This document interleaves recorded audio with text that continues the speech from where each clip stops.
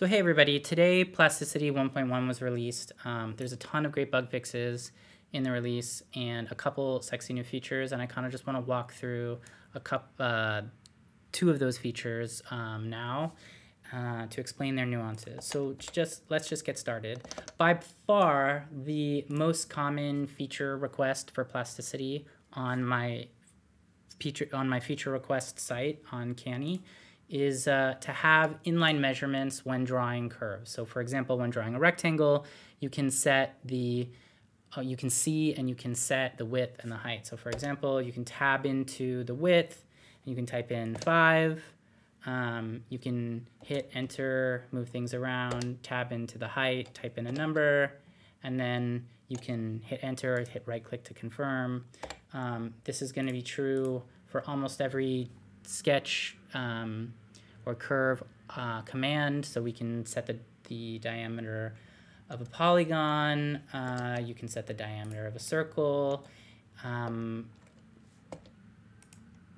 and additionally, you can do the length um, and the angle for a line. And just to show you some of the nuances how the, how the line works, the first segment of the line you'll draw, the angle will be relative to the construction plane's x-axis, but for subsequent um, subsequent uh, segments, the angle will be relative to the previous segment, okay? Now, again, you can tab into these and type in values. Um, in the context of lines, you know, these numbers can easily be three-dimensional. And uh, so here we're off the construction plane and touching the z-axis. So uh, it's something to bear in mind that plasticity is a 3D sketching environment and the nuances of how this work are a little bit different than you would expect in, say, Shapr3D or Fusion 360. Um, if for some reason you dislike this stuff, you can go into the grid and unit section and uncheck showing measurements when drawing curves. But I actually encourage all users to leave this on for now, even though all these measurements and numbers um, are more most useful for a kind of precision 3D printing, whatever workflow. I actually think uh, I tried really hard to make the treatment of the visual treatment of this very subtle, uh, not super opaque.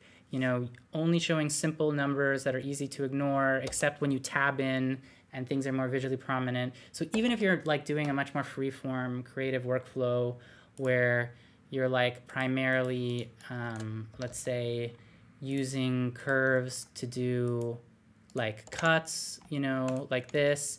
Even then, I still think it's nice, in my opinion, to leave some of these measurements on because I've, I've found, I think, a nice subtle treatment that works well in a 2D and a 3D context. And, uh, and yeah, so that's the first thing.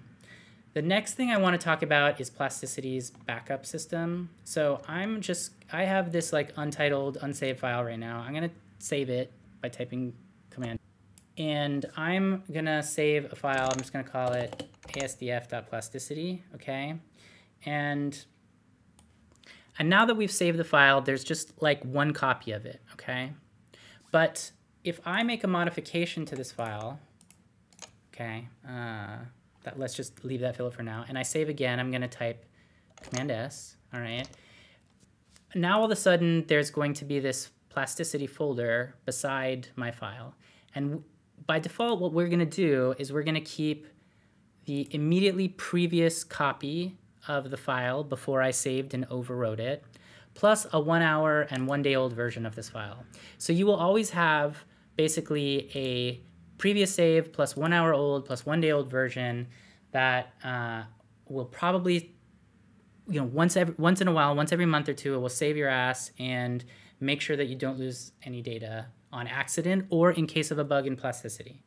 Um, if you want more backups, you can keep, I don't know, five of the most recent saved copies of the file, or you can keep, um, say, uh, 24 hourly copies of the file, for example. Or if what if you have your own like backup strategy where you use version control and you want to keep control of this yourself, you can just put everything to zero and then plasticity will not keep any back. Now, plasticity uh, by default will create this little directory as a sibling of the file that you saved. If for some reason you don't like that, you can change the backup path um, to something where all backups will go into one place. Like, it's kind of up to you. Um, I think the defaults are sensible and useful for most people. That's why, in general, plasticity by default will preserve three copies of your document. You do have to be mindful of having three copies taking up too much disk space potentially if you, you know, like a very simple file is only six kilobytes, but like uh, it is very easy to have a 100 megabyte or 200 megabyte plasticity file if things get really complex. So those there are many reasons you might want to turn off backups, but I think for most users, leave this on every six months. This will save your ass. Um, and and yeah, there's a plenty of other features that came with this release, but I think these two really uh, focus on um, you know the number one user requested feature plus um, this change in behavior that is uh, that is yeah worth knowing. Okay, cool. Talk to you later.